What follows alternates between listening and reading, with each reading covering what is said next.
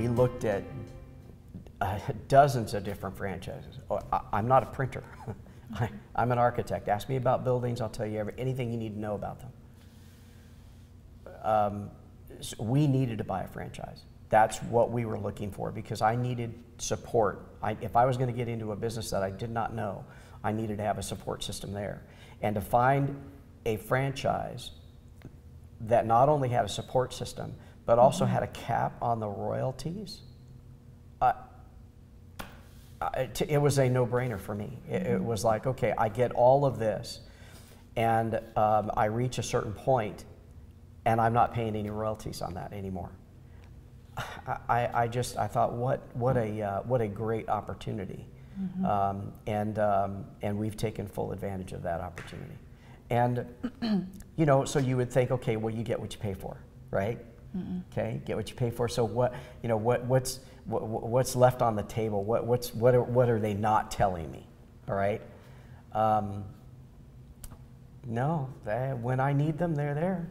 If I want them to leave me alone they leave me alone you know? Um, yeah, I, i'm really passionate about minuteman press um, the quality of a franchise that they are in that they really support you but they don't intrude they don't insert themselves in um, your business they respect uh, the direction you want to go the things that you want to do uh, when you feel like you need help they're there and especially when you're new franchise owner and you're hiring yeah. people you don't know how to train them. They step in, really very help. supportive, yeah. really valuable input when you need it, and um, just I just feel like they really care about the franchise owner a lot, and they really want you to succeed.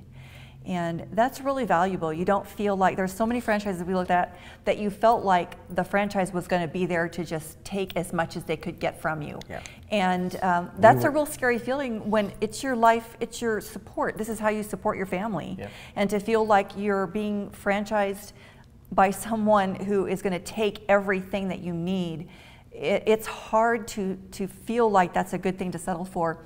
And we really felt like Minuteman Press was the one we found that wasn't that way, that really wanted to support us and wants us to be winners and wants us to succeed as much as we can. And I look at all, when we come to the the meetings and the, the seminars and hear from our regional vice president about um, people who have hit the millionaires club, you know, and I think I think to myself, they're not paying any more than I am. Yeah. You know, what kind of franchise does that? You know, cool. I mean, that's so awesome. That's pretty that you can become a millionaire and keep it.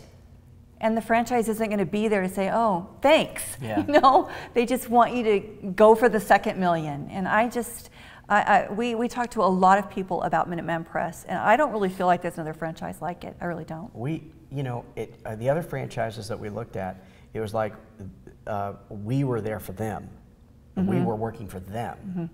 But Minuteman Press, it's like um, it's like they're they're there for us. Mm-hmm. And what a better there's isn't it, there is not a better way to show it than to you know put a cap on that royalty and mm-hmm. still get the service and the support and the help and the you know everything that we that we need. I, mm-hmm. I you know I, I, just thought it was the I, I, thought it was the best of, of both worlds mm-hmm. in that.